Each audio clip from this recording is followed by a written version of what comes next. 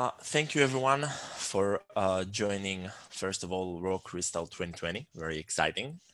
Um, and also specifically uh, my talk. Now, uh, as per uh, my field, um, we're going to talk about security and more specifically about um, how to secure our Crystal apps. As Crystal um, gains more and more traction, we will be using it more and more, I guess, in production and in environments where our data is actually um, important to us and not just some um, small and uh, specific tests or um, very niche use cases. And while we grow as a community, as a language, and as uh, solutions and products, we will need to put security um, forward. And that's what we're going to talk about today. So um, a bit about me uh, or why maybe you should take my word. um, so I'm a father of two. Uh, I'm the CTO of co and co-founder of uh, NeuraLegion, a crystal in production company. Um, I'm a lover of open source, uh, a hardcore Linux user. Yes, I use Arch. Um, a cybersecurity researcher for more than 15 years. Um, I've been a, I call it proper developer for six years. Um, I've been in IT and networking for more than eight years and uh, playing around being DevOps for more than three years. Now, when we talk about security um, and about our Crystal applications, we're talking about a very specific field called application security. Now, application security is a, um, a whole big world. Um, but when we talk about application security, I guess some of you would say, hey, wait, no, uh, what about the ports? What about the network? What about all kind of other segments that are also important to secure? But um, security is about priorities and we need to make sure that we are covering our most uh, accessible assets. Now, right now, uh, we have some very interesting information. Uh, Verizon's 2018 uh, data breach investigation report flagged web applications as being more than 70% as the cause, sorry, of more than 70% of the data breaches of that year. This means that from all of those hacks that we hear or do not hear about uh, in uh, the media and uh, other resources, all of those, or at least most of those, are around um, broken, vulnerable, or just uh, susceptible for attacks, uh, web applications. Um, there are a few reasons for that. Uh, one, of course, is that web applications are very common. How common? Um, when we talk about where web applications or web-based technology, to be honest, because APIs, um, API gateways, REST APIs, and all kind of miniature interfaces, even your router runs a web application uh, your smart smart house uh, where you can control with your mobile app. This mobile app in the end uh, sends some kind of REST calls to some remote server. It's still web based, right? Um, we have smart cars that usually do almost exactly the same. And of course, um, as some of us know, uh, the former sushi chain and uh, other um, uh, blockchain-based uh, uh, technologies, those are usually using um, web-based technologies, not at the core, but at least um, in the uh, higher, uh, higher, more accessible for users uh, interfaces. Now, one quick word regarding application security. Um, if you don't know about it, there is a very nice organization called OWASP. It's the Open Web Application Security Project if you have time, if you have interest, uh, you can just uh, Google their name and they have a lot of information about application security with code examples, with a lot of information. Most of it is around Java, but um, you know, at least something. So now that we understand that uh, most of our problems are coming from applications, right? And application security is most likely what we should be taking care of um, as soon as possible. Let's um, talk about where in the applications we might care, right? Or where we are more vulnerable. So there are a lot of places, uh, but if we try to rethink on where are the uh, more pressing ones will be, um, those will be around user input, which is the most susceptible for attacks. Um, that's uh, around uh, values, um, basically getting values from the user, getting information from the user. Um, that could be uh, getting a username, getting information. Um, anytime we get input uh, from a user, there are problems. Um, there is the parsing aspect. Um, all right, the user sent us uh, a non-malicious data, but uh, this data is uh, hard to process, like very large JSON files or very complex or uh, a lot like multi-layered zip files. And those can create a lot of issues in our applications. Um, the third thing about user input is about validation. Um, validating data or data validation is a very complex subject. Um, there are a lot of layers to think about. It's not just about, um, all right, uh, does this data has those and those patterns, which call a deny list. Um, this uh, this way of handling validation is very flawed because we would need to think about all of the ways that the data might be malformed and try to get rid of those. Um, we should instead think in uh, allow list, basically try and see what data we care about and only allow this kind of data. Uh, then we have authentication and authorization, which is about roles, access rights, right? Users, admins, um, group managers, um, guests. This is a very tricky part of most applications. And there are a lot of situations where this is uh, a very interesting place for attackers. Uh, then there is the login, no surprises there, right? Uh, if I can get uh, login credentials or a login session or information about login, then of course uh, I can hack into the application. Then there is uh, data handling. Now this is a world in itself, of course, but we're going, but um, maybe a bit of uh, a few words about that usually when we talk in security about data handling, we talk about data in two ways um, data in rest and uh, data in transit. Uh, data at rest means, um, for example, a database, a file system file. Um, and how do we secure those things? So of course we have um, encryption.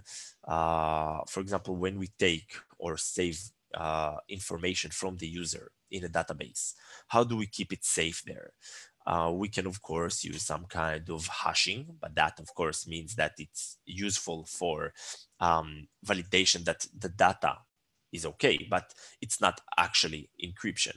Uh, it's good for passwords, so we won't have to keep passwords in clear text, but it's not good for data that we need to retrieve later. Um, file system uh, when we want to save files and make sure that um, only specific users can access them. This is, again, a very tricky part about security. You always have this um, who has rights also in the file system. Can the root user access it? Can the uh, standard users access it? Is it read? Is it write? Is it execute? There are a lot of layers there as well. And of course, data in transit. Now, here things are usually a bit easier because data in transit is um, protocol based. So as long as the protocol itself has some kind of uh, security layers so that we can defend from man in the middle situations like TLS and other kind of encryption, we should be okay. Should be. Um, now, let's go into Crystal Code and let's talk a bit about um, some examples uh, around those kind of issues. So just a word, um, this code and all of the other codes in, the, in my examples might not be one-to-one -one working scenarios. Um, it was more about showing an idea. So if there is something that does not compile in the same way or that does not behave exactly the same thing, feel free to reach out to me and I'll either fix it or give you code that actually works. So the first example is what we all know. Like I think every developer out there uh, heard the word um, SQL injection somewhere or sometime. And this is an issue where um, a user, by abusing um, lack of validation or sanitation uh, and proper handling of user input, uh, managed to um, inject or execute uh, unauthorized uh, queries inside our database. So given our example here, uh, we have an HTTP server uh, that gets user information, um, get requests from the user, uh, does something about uh, like opens a database connection and then does something. In our example, this something is uh, taking the ID query parameter um, and uh, trying to look in the database what is the in this case, name for the user that has this ID. Now we expect something like uh, one, two, three, or maybe a UUID, or maybe some kind of another, da another data structure, right? But because we didn't build any uh, logic here uh, that protects us from something like that, um, we might be expecting one to three. But what happens uh, if the user send us uh, something like the example below, uh, some kind of an escape from the query that we intended to send, and instead send something like drop table users. Now, that won't be fun, right? And this is a very destructive action. Um, but what if we have credit card information and instead uh, the user will inject, um, select uh, everything from the credit card number table, right, to column. So um, this kind of attack can be used for both um, harming us or taking data out, which is more usually the case. Um, let's talk about the simple fix. The simple fix is using our beloved query parameters this is also the best practice um, if you look at the crystal docs. Um, they're telling us to use uh, this kind of syntax where we tell the database that whatever goes in that section is a query parameter. It's not something that should be handled like a uh, um, some kind of a database command. Um, in some ways, it will stringify or escape. We'll just know how to handle it without um, risk in that case. Now, the thing about this uh, example is that it still wastes resources, right? We still need, we will still send this information um, to the database. And let me tell you a bit, like a little secret. There are ways to bypass this uh, kind of scenario. There are ways to still inject something malicious or to um, make the query be malicious, even if we used query parameters. It depends on specific situations and our knowledge of the uh, architecture, but it still can be abused. Now, this example, uh, again, I guess would be called um, a deny list, but we want to do something better. We want to go to the allow list. We want to make sure that when we do something, it's because we understood that this is actually the data that we wanted to get. So one example, and again, this might not be the perfect code. The code can be, of course, improved, and we can do a lot of smarter things like not um, create the database connection and um, do a lot of things to make sure that we're not wasting resources here. But uh, just to show the uh, idea of allow list is that we will do some kind of a test to make sure that ID in our example is uh, parsable as an integer, can be uh, cast into an integer. Now, if it can't be an integer, we'll just say uh, respond with uh, ID has to be an integer and let the user figure out what to do. Um, if it's an integer, we will try and create our uh, DB query and uh, get back the response if we have one. Now, um, we still make sure, even in this case, to use the query parameter. Why? Because we're paranoid. Because even when everything might be uh, castable into an integer, maybe the user created some kind of, I don't know, bytes, uh, injected some kind of uh, Unicode, something that managed to uh, passes Crystal's to_i um, uh, function and still return, yeah, this could be an integer, um, but it will harm the database in some way. Um, so that's why we still want to use the uh, query parameters because we prefer to never trust anything, only ourselves. Um, now, one more thing, uh, should we even let the user know uh, what was the problem? From one way, from one side, it's um, a better user experience, right? Um, we want to give the user information about the failure and how to fix it on his side. Um, but we're also giving out information. Now, where this can come by come back and bite us is in situations where you have login and you're telling the user uh, password does not match the user or um, you, there is no such user.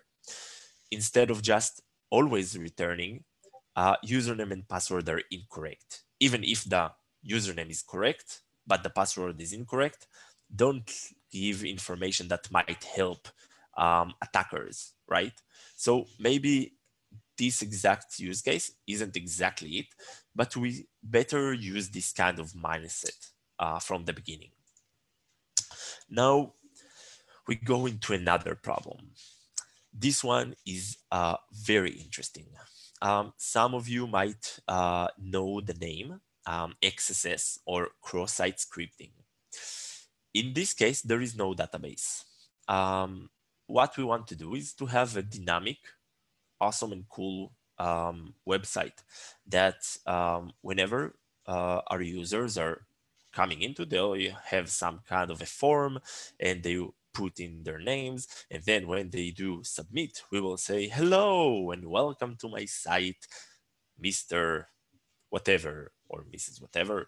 And, um, you know, it looks awesome. We know who they are. They're happy to see their name in our website, and it's pretty cool.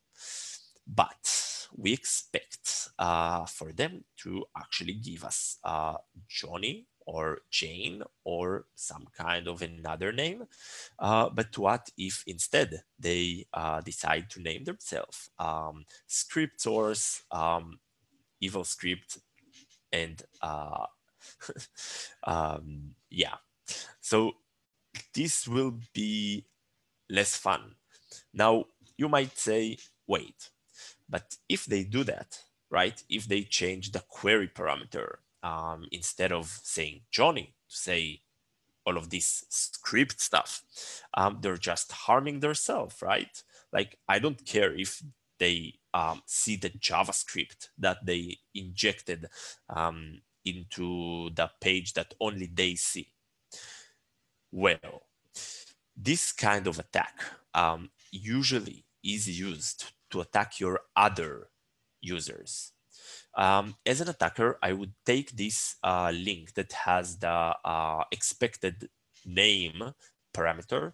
I will put there some kind of uh, uh JavaScript that instead of, I don't know, painting uh, the um, the web page that returns in, I don't know, colorful and amazing colors, it will instead say uh, some, or maybe it will inject some kind of a, um, uh, a keylogger or it will fetch the document.cookies and will send them to a remote website.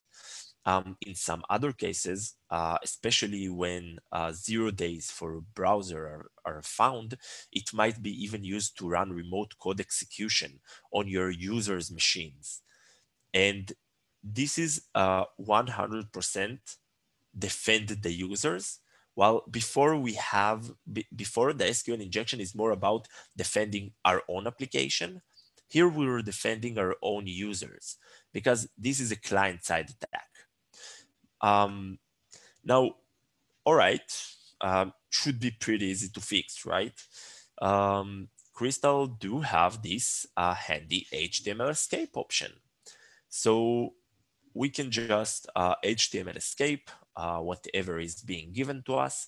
Uh, we'll make sure that it will not um, execute in the user's uh, browser. And I don't know, I think that everything should be fine, right? Well, um, not really. if you look um, at the line above, uh, this is called a polyglot payload. It does some very nasty tricks. Some of what it does is escape all kind of HTML escapings. It does all kind of um, special bytes, um, HT, uh, HTTP, HTML, uh, URL encoding, and it has a lot of information in it um, that might, uh, in the end, effectively escape our HTML escaping. Now, uh, um, how much is this um, possible or how common is that? Well, if we write into Google um, XSS bypass HTML escape, we will get back 1,100,000 uh, results. Um, as you can see, there are some obvious uh, newer results. So it's not old data, it's not old information. There are links here from um, 2020. Um, this is a hot topic. It's relevant. And um, from one side, um, you know, you say, okay, uh, so they might do it.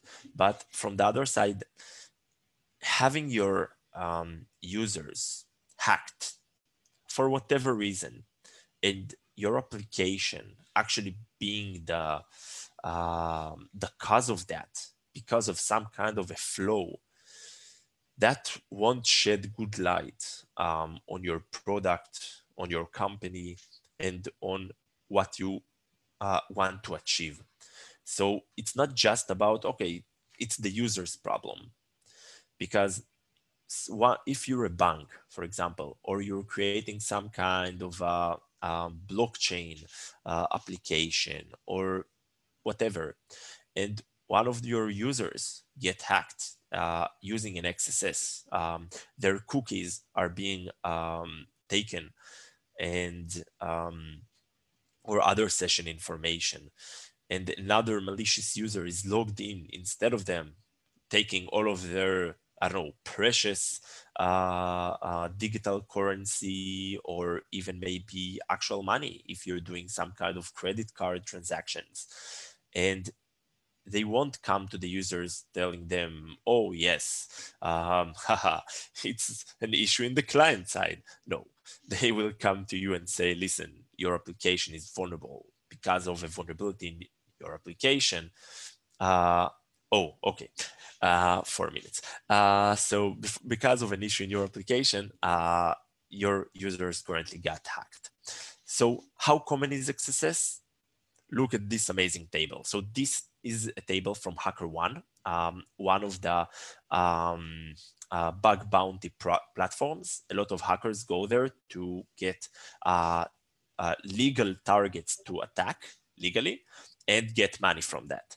So the most uh, uh, common and found uh, vulnerability the most both impactful and rewarded for was XSS. This is critical. This is a high severity vulnerability. And people just uh, from bug bounties got around $4 million just about XSS on one year. So please take care of it.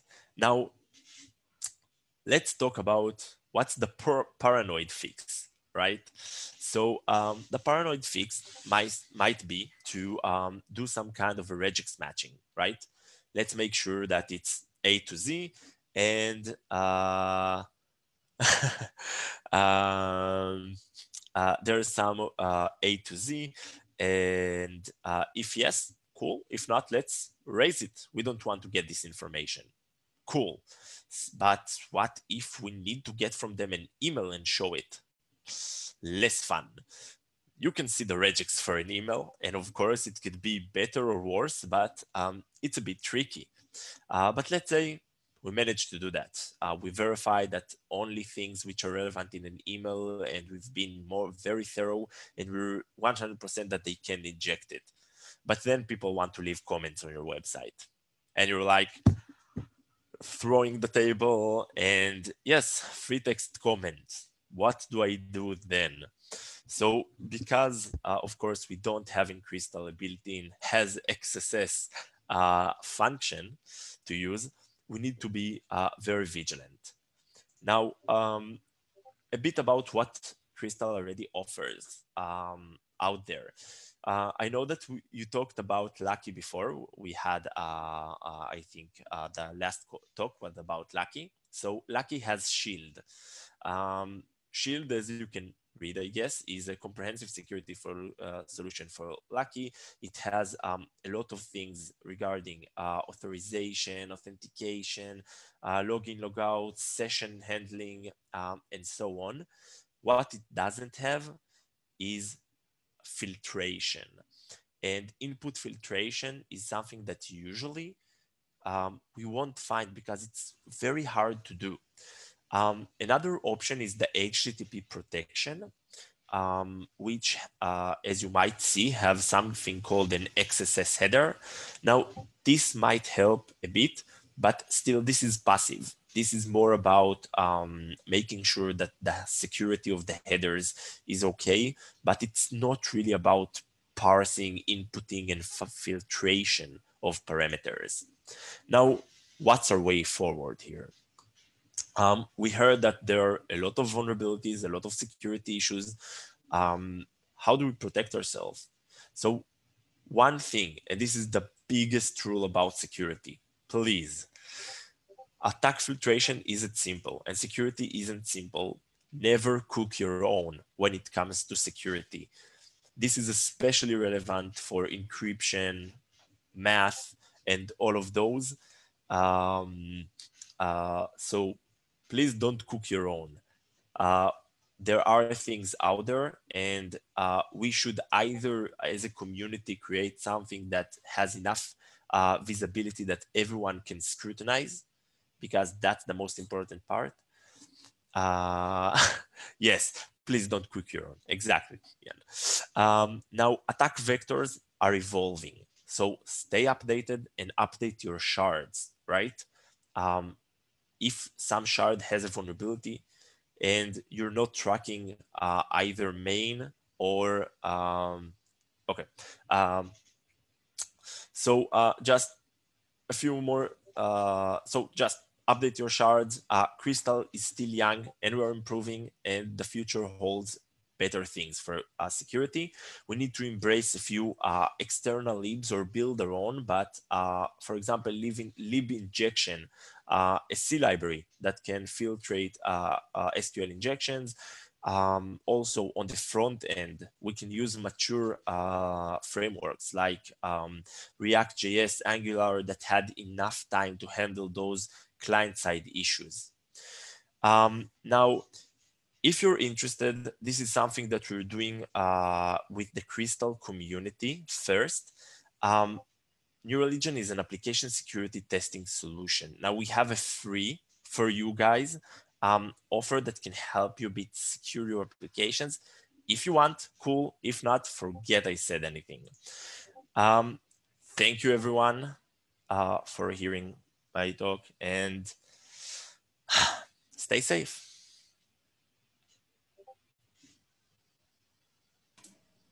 Thank you, Bar. Um, thanks a lot for the for the talk. I'm sure uh, many millions will be will be saved by uh, by people implementing the solutions you've uh, suggested here. Um, while I get uh, Steve on the call to start uh, the next talk, do you want to take the question that is there very very quickly on the Q and A? Uh, yes, sure. So um, yeah, uh, good question. So what kind of low-level uh, buffer overflow, null pointers, etc. attacks is LLVM vulnerable? Uh, can we expect LLVM to be an attack vector? So the thing I really like about security is uh, most of the things are really punishing us for playing with the low level uh, parts. Now, this is what I like. I know that some uh, some de Crystal devs do like to uh, access pointers and play with C libraries. And of course, this is where you might see those kind of things. But having thoroughly um, fuzzed the Crystal library, uh, common uh, common interfaces, APIs, things that you would use usually use, I didn't found something that is like very critical. One thing I did find, and um, that's something that uh, uh, I think that the uh, uh, Manas team and especially Brian uh, are aware of, is that there are issues with um, libpcre, uh, basically regex, where there is uh, some ways to crush it and go into an invalid memory access, but uh, hopefully this will be taken care of.